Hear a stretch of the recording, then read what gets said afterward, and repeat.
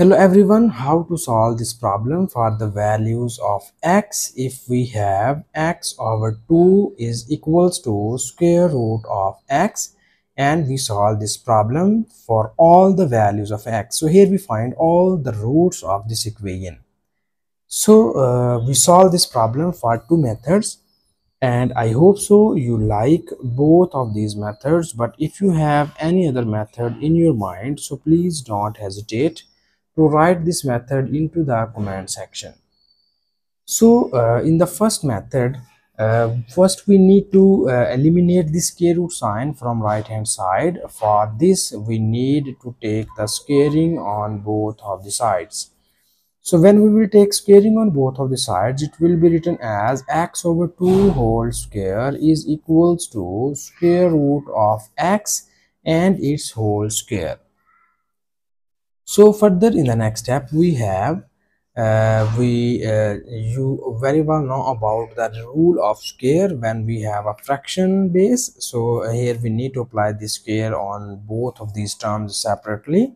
So when we apply square on x it will becomes here x square. When we apply square on 2 it will becomes 4 is equals to this 2 and this square root are gone and we will get here x only so further in the next step we need a little bit simplifications here. And you see this is this 4 is divided by here. When we move in the right hand side it is multiplied by this x. So it will be written as x square is equals to 4 times of x.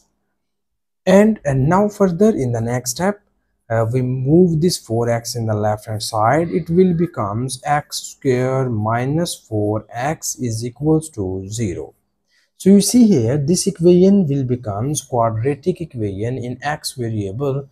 Uh, so we easily uh, solve this equation for the values of x. Uh, but this quadratic equation is not into the standard form okay? So here you see that x is involved on both of these terms uh, so uh, we will take common x from here. When we take common x from here we get only 1x minus. When we take common x from here we will get 4 and this whole equation is equals to 0 and now here in the next step we divide this equation into the two cases. The first case is we write x is equals to 0 and the second case is we write x minus 4 is equals to 0 so this is the our first root of the given equation. And for the second root we need to move this minus 4 to the right hand side and it will becomes x is equals to plus 4 okay so uh, here uh, we get these are the two roots of the given equation. And now in the next step we need to uh, verify these two roots and we check that is these two roots are satisfied our given question statement or not. Because our given question statement is the radical equation so uh, in radical equation uh, we have a possibility to get the extraneous root. Okay so that's why the verification of these roots are necessary in that case. So first we copy down given question statement here. It is x over 2 is equals to square root of x and we we verify the above both roots and here we, we verify x equals to 0 and here we verify x is equals to 4 so now we need to uh, substitute the value of x equals to 0 into the above equation.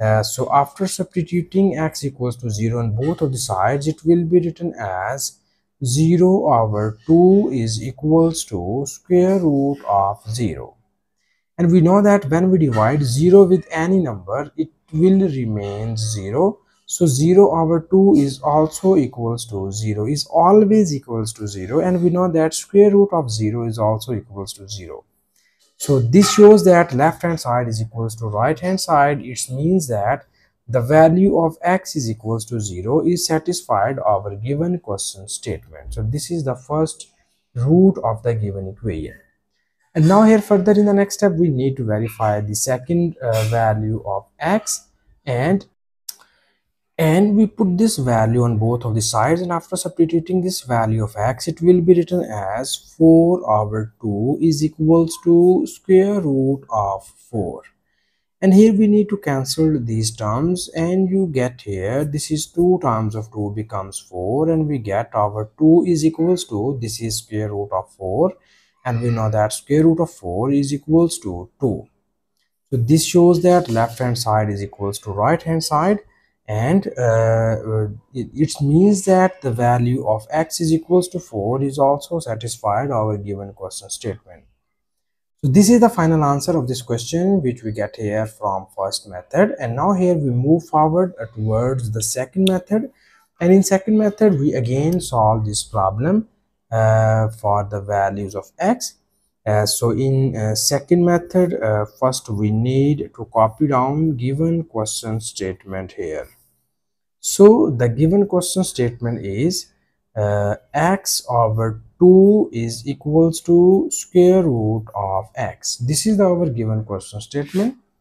And uh, in second method uh, we just uh, focus uh, in the left hand side. And you see here in the left hand side we have x term. So we break our uh, we write um, the term which is lies in the x uh, which is lies in the left hand side is here uh, you know about that if we have uh, 3 we write this 3 as square root of 3 multiplied by square root of 3 so uh, in, the same pattern uh, we write this x as in this form we write it as uh, square root of x multiplied by square root of x divided by 2 is equals to square root of x.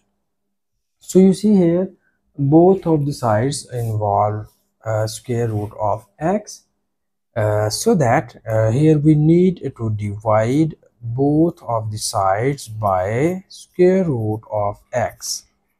So when we divide both of the sides by square root of x uh, it will be written as square root of x multiplied by square root of x divided by 2 times of square root of x. This is our 2 and this is uh, square root of x.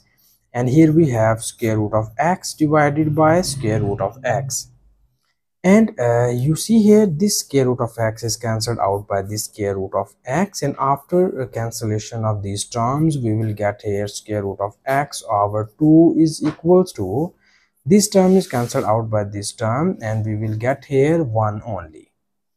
So now here we move this 2 to the right hand side and it will be written as square root of x is equals to 2 so because we find the value of x, so that's why we need to take the squaring on both of the sides. So when we will take squaring, it will be written as in this form.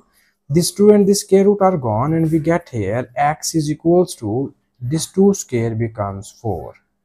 This is the our final value of x which we get here in from second method and this is the final answer and thank you so much for watching this video please subscribe to my channel for more exciting videos